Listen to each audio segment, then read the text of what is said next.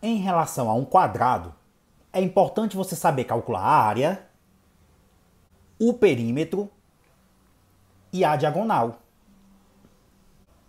Imagine que o lado desse quadrado seja 12 metros.